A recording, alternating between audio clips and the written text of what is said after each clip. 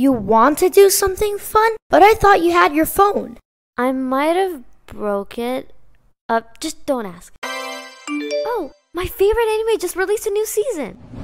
No. Don't worry, I probably don't want to know.